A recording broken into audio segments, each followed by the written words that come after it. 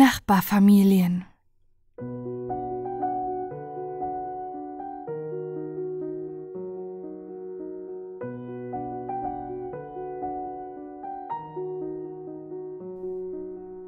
Man hätte wahrlich glauben sollen, dass in dem Ententeiche etwas Wichtiges vorgehe.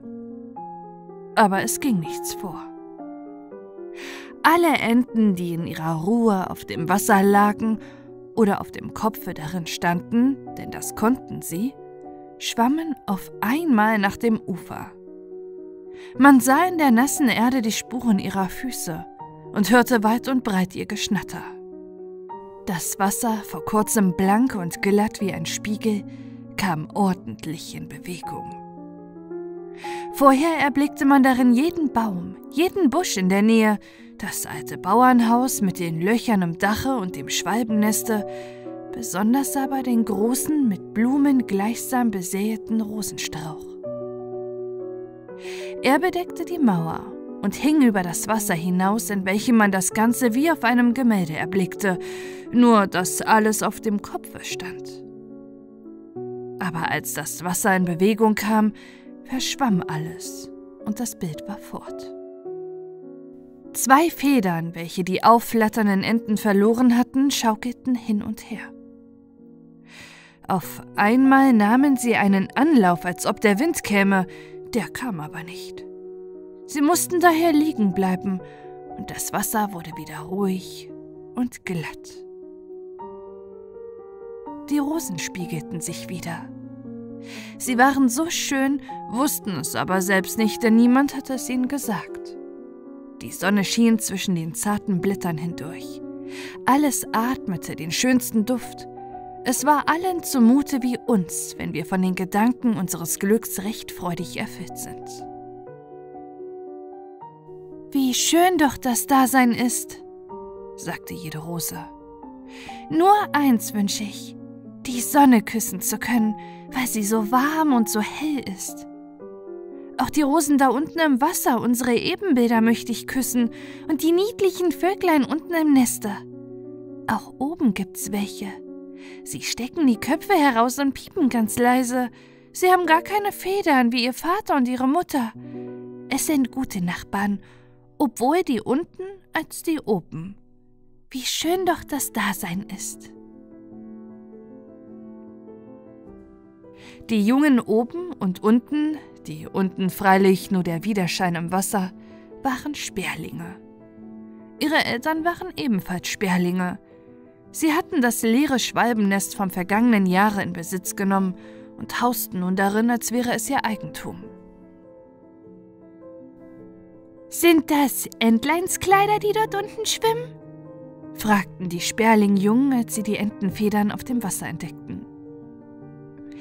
Wenn ihr einmal fragen wollt, so fragt wenigstens vernünftig, sagte die Mutter. Seht ihr denn nicht, dass es Federn sind, lebendiger Kleiderstoff, wie ich ihn trage und wie ihr ihn tragen werdet? Unserer ist aber feiner. Ich möchte übrigens, wir hätten sie hier oben im Neste, denn sie halten warm. Ich bin doch neugierig, wovor wohl die Enten so erschraken. Über uns war es gewiss nicht. Freilich sagte ich ziemlich laut zu euch, Piep. Die dickköpfigen Rosen müssten es eigentlich wissen, aber die wissen gar nichts, betrachten nur sich und riechen. Ich bin dieser Nachbarn herzlich überdrüssig. Hört die allerliebsten Vöglein oben, sagten die Rosen. Die fangen nun auch an, singen zu wollen, können es aber nicht. Es wird sich indes schon machen.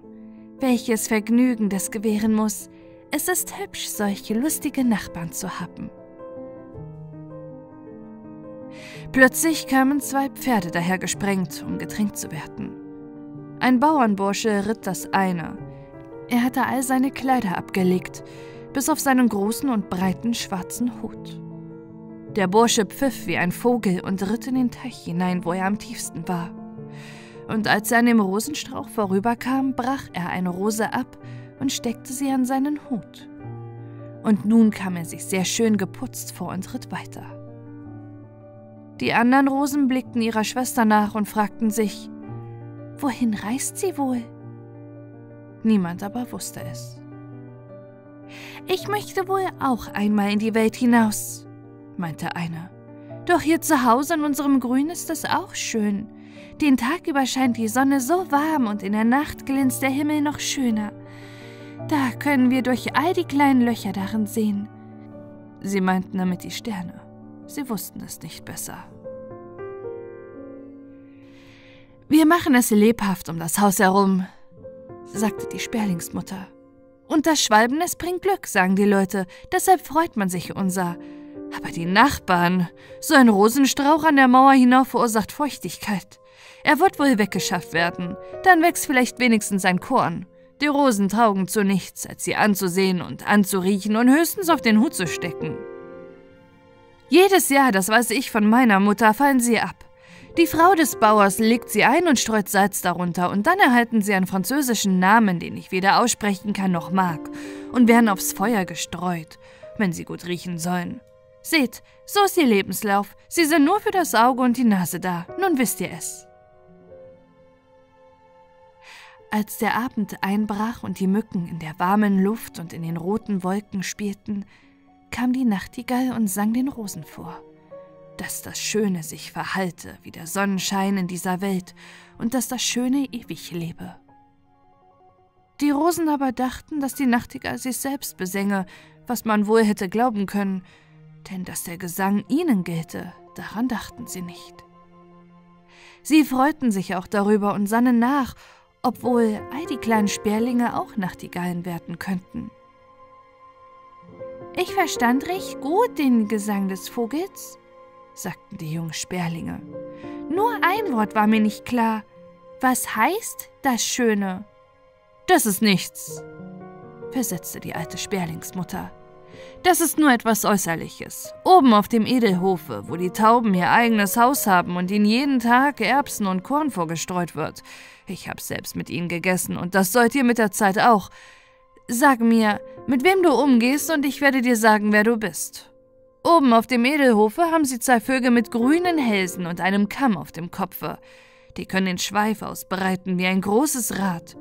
Und der spielt in allen Farben, dass der Anblick den Augen wehtut. Diese Vögel werden Pfauen genannt. Und das ist das Schöne. Sie sollten nur ein wenig gerupft werden, dann würden sie nicht anders aussehen als wir anderen alle. Ich würde sie schon gerupft haben, wenn sie nur nicht so groß gewesen wären. Ich will sie rupfen, piepste der kleinste Sperling, der noch keine Feder hatte. Im Bauernhause wohnten zwei junge Eheleute. Sie liebten sich sehr, waren fleißig und flink, es sah alles so hübsch bei ihnen aus. Des Sonntags früh kam die junge Frau heraus, pflückte eine Handvoll der schönsten Rosen und tat sie in ein Glas mit Wasser, welches sie auf den Schrank stellte. Jetzt sehe ich, dass es Sonntag ist, sagte der Mann und küsste seine kleine Frau. Sie setzten sich, lasen im Gesangbuch und hielten sich bei den Händen. Die Sonne beschien die frischen Rosen und das junge Ehepaar. Dieser Anblick ist wirklich zu langweilig, sagte die Sperlingsmutter, die von ihrem Neste aus in die Stube hineinblicken konnte, und flog davon. So ging es auch den nächsten Sonntag, denn jeden Sonntag wurden frische Rosen in das Glas gesteckt. Doch der Rosenbusch blühte stets gleich schön. Die jungen Sperlinge hatten jetzt Federn und wollten gern mitfliegen. Die Mutter aber erlaubte es nicht und sie mussten bleiben. Sie flog. Doch wie es auch geschehen mochte, ehe sie es sich versah, war sie in eine Schlinge von Pferdehaaren geraten, welche Knaben an einem Zweige angebracht hatten. Die Pferdehaare zogen sich fest um das Bein zusammen, so fest, als sollte es durchgeschnitten werden. Das war eine Pein, ein Schrecken.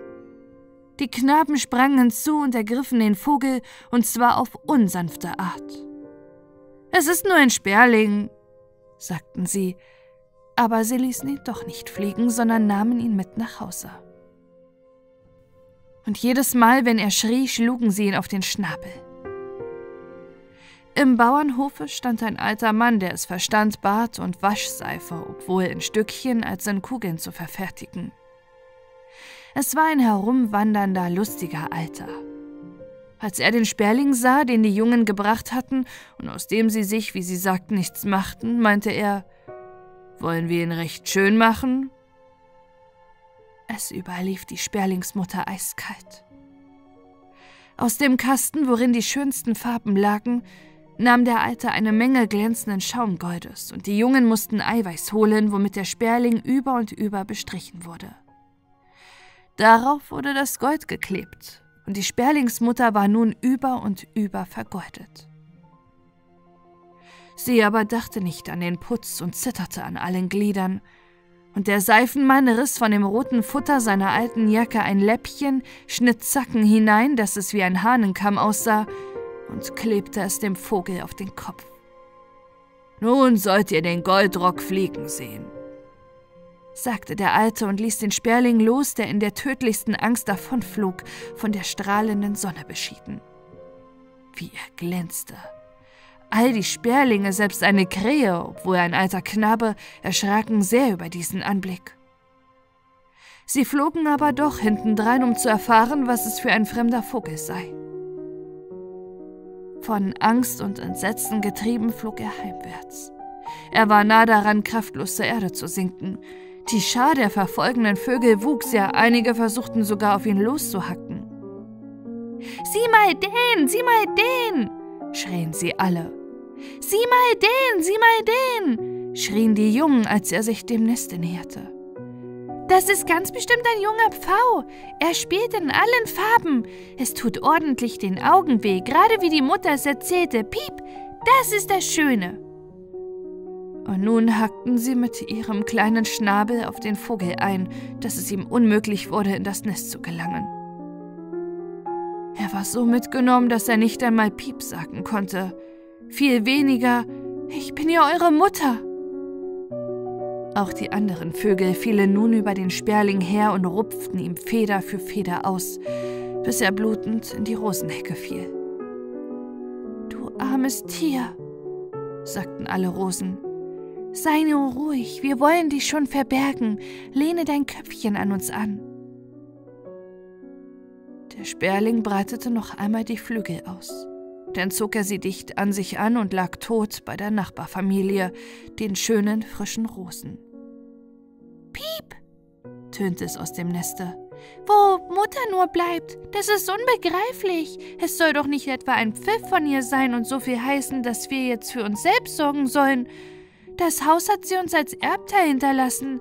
Wem von uns soll es nun aber allein gehören, wenn auch wir Familie haben werden? Ja, das geht nicht, dass ihr bei mir bleibt, wenn ich meine Wirtschaft durch Frauen Kinder erweitere, meinte der Kleinste. Ich werde wohl mehr Frauen und Kinder haben als du, sagte der Zweite. Ich bin der Älteste, erwiderte der Dritte. Alle wurden nun hitzig. Sie schlugen mit den Flügeln, hackten mit den Schnäbeln und plauz wurde einer nach dem anderen aus dem Neste gepufft. Da lagen sie mit ihrem Zorn. Den Kopf hielten sie auf der Seite und blinzelten mit den nach oben gekehrten Augen. Das war so ihre Manier, dumm zu tun. Ein wenig konnten sie fliegen, durch Übung lernten sie es noch besser und zuletzt wurden sie über ein Zeichen einig, um sich, wenn sie einander in der Welt später begegnen sollten, zu erkennen. Es sollte aus einem Piep bestehen und in einem dreimaligen Kratzen auf der Erde mit dem linken Fuß.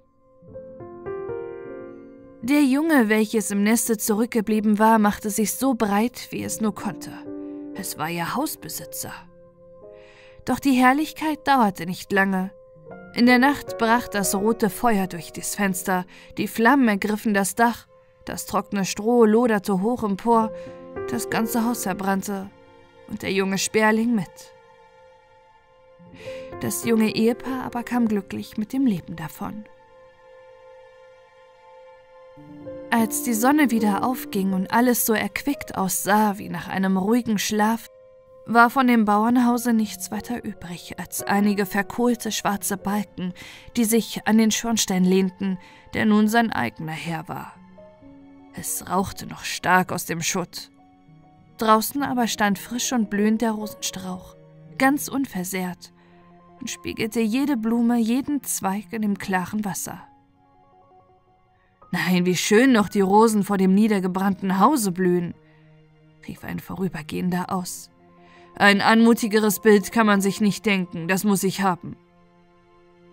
Und der Mann nahm aus der Tasche ein kleines Buch mit weißen Blättern hervor. Er war ein Maler, und mit dem Bleistift zeichnete er das rauchende Haus, die verkohlten Balken und den überhängenden Schornstein. Und dieser hing mehr und mehr, ganz im Vordergrund, aber den großen blühenden Rosenbusch. Der gewährte einen herrlichen Anblick. Seinetwegen war ja auch das ganze Bild entstanden.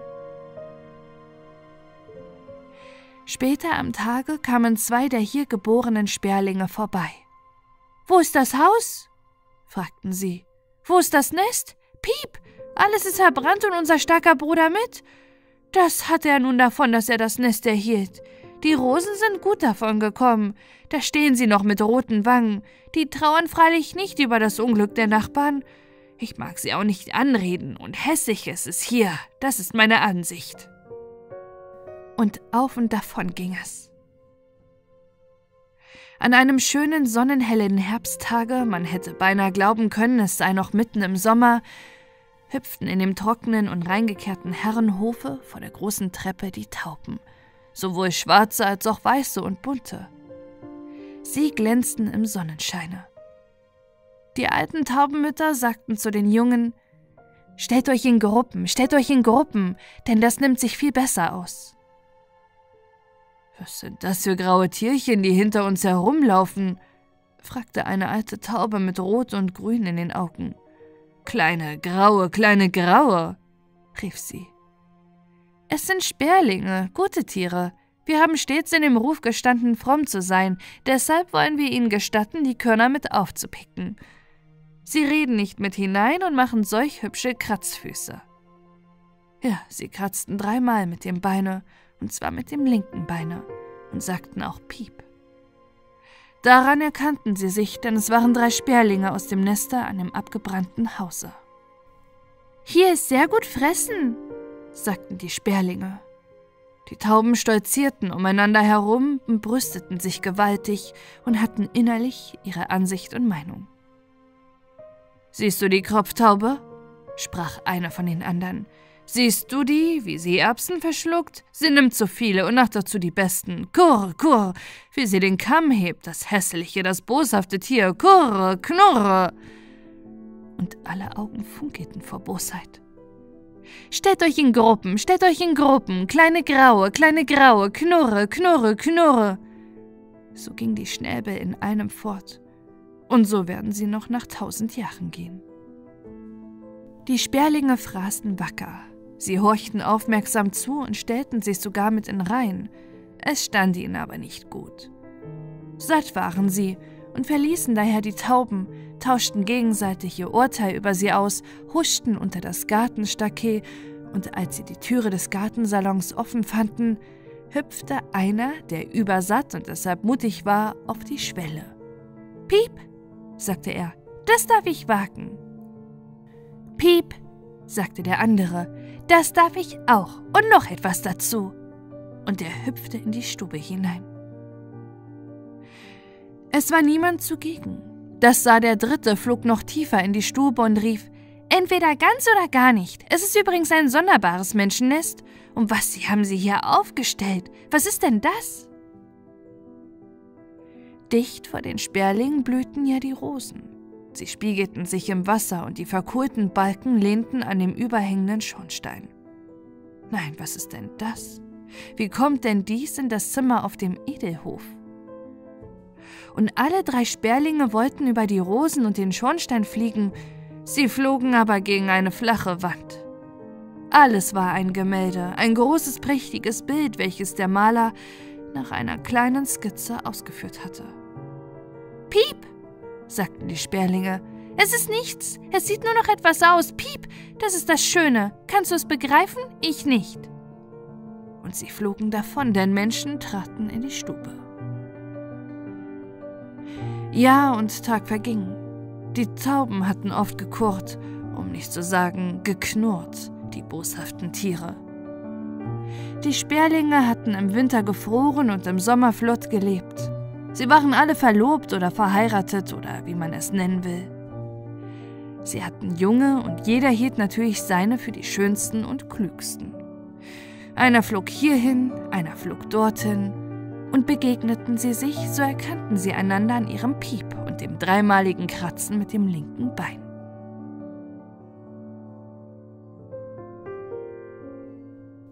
Der Älteste war ein Sperlingsfräulein geblieben, welches kein Nest und keine Jungen hatte.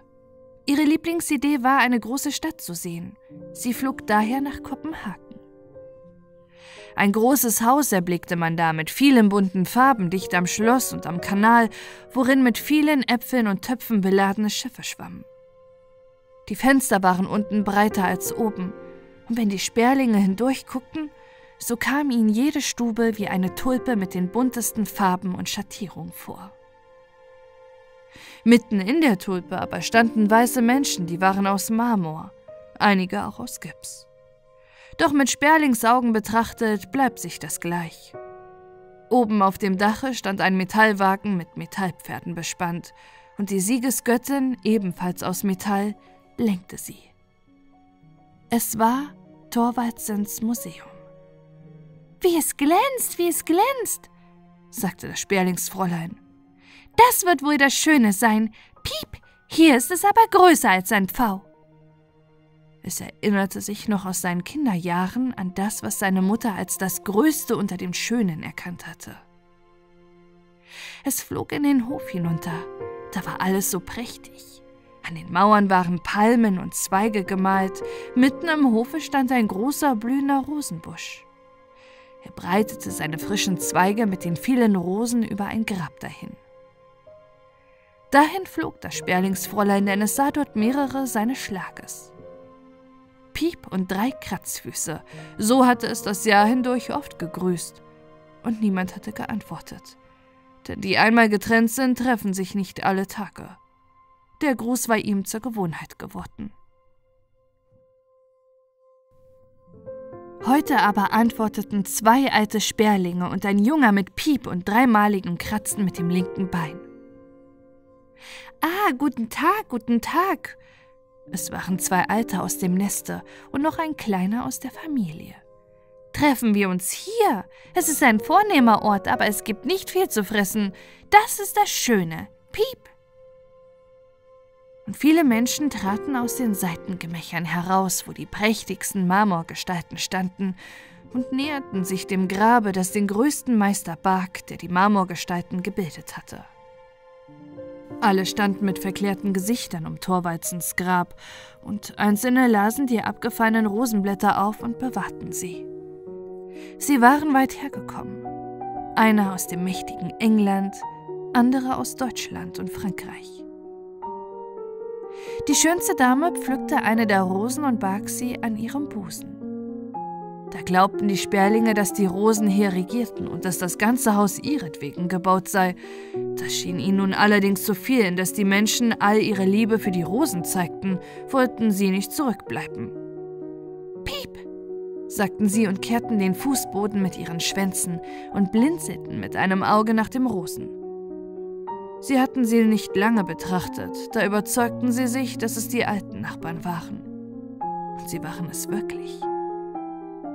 Der Maler, welcher den Rosenbusch mit dem abgebrannten Hause gezeichnet, hatte später Erlaubnis erhalten, ihn auszugraben und hatte ihn dem Baumeister gegeben, denn schönere Rosen hatte man nie gesehen.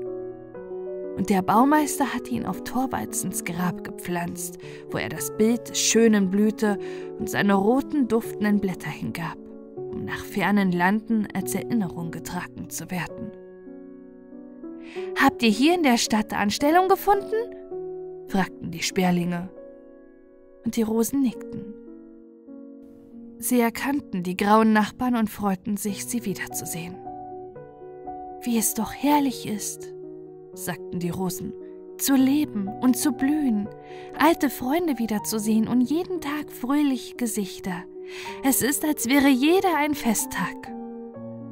Piep, sagten die Sperlinge, ja, es sind wahrlich die alten Nachbarn. Ihre Abstammung vom Teich hierher ist uns erinnerlich. Piep, wie die zu Ansehen gekommen sind. Ja, manchem gelingt es im Schlafe. Ha, da sitzt ein verdorrtes Blatt, das sehe ich ganz deutlich. Und sie pickten so lange daran, bis es abfiel. Aber frischer und grüner stand der Busch da. Die Rosen dufteten im Sonnenschein auf Torwaldsens Grab, an dessen unsterblichen Namen sie sich anschlossen.